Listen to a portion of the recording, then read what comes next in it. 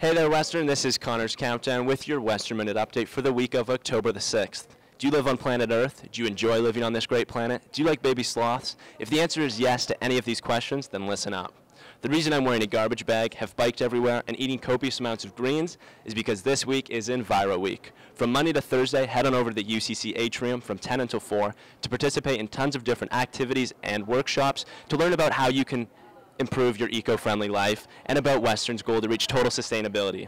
If you don't even know what sustainability means, I guess you'll just have to participate to find out.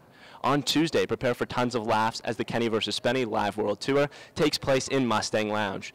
Doors open at 7, show begins at 8, and tickets can be purchased in Western Connections box office.